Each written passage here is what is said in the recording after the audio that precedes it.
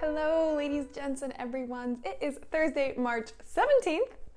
Happy St. Patrick's Day, and we're here to talk about this week's space and astronomy news. The Artemis 1 rocket is all stacked and ready to go! The last of the work platforms was retracted yesterday, and today the rocket is being rolled out to the launch pad. You can actually watch this coverage live starting at 5 p.m. Eastern on NASA's website or app. The rocket isn't going to the launch pad to launch, though. That's not expected until at least May. Instead, it has its wet dress rehearsal test. This test is wet because the liquid propellant tanks will actually be filled, although the engines will not be fired. Basically, the team is going to practice the entire launch day routine up until 10 seconds prior to liftoff, along with some other contingency routines they need to practice. Exciting to see the Orion spacecraft and the SLS rocket come together. Hopefully all will go well. Up on the ISS, things seem to be operating normally. None of the crew members have released any statements about the ongoing Russian invasion of Ukraine. Two NASA astronauts just finished up a spacewalk on Tuesday in preparation for an upcoming solar array installation. And on Tuesday, NASA astronaut Vande Hei surpassed Scott Kelly to set a new US single spaceflight duration record, which is now at 343 days, although it will be 355 when all is said and done. And it's about to get a bit more crowded as three cosmonauts are launching tomorrow from Kazakhstan to join the ISS.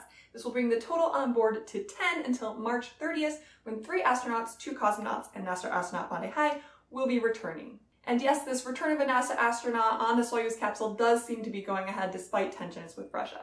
So while the future of the ISS might be a little bit unclear, it's great to see that it is continuing to perform its mission for now. Blue Origin has another space tourism launch coming up, and like the previous three launches, Blue Origin has invited an honored celebrity guest alongside the paying customers. Side note, it's not been disclosed how much these customers are actually paying, but suffice to say, it's probably a lot. Previous guests were Wally Funk, William Shatner, and Michael Strahan, and now the newest one will be SNL comedian Pete Davidson. Huh, did not see that coming.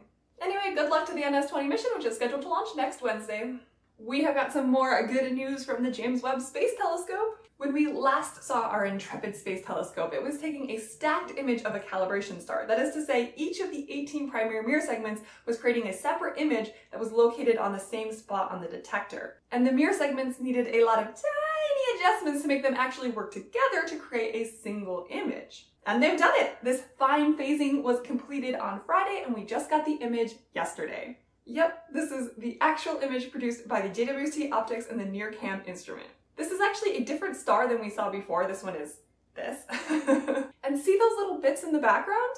Yeah, some of those are actually galaxies, even though that was not the intent of this picture at all.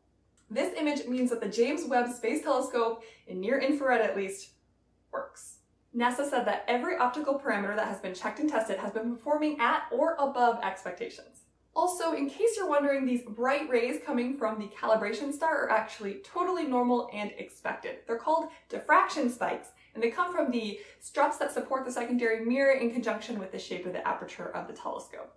With the release of this image, NASA's Associate Administrator for the Science Mission Directorate said, Today we can say Webb's audacious optical design is going to deliver.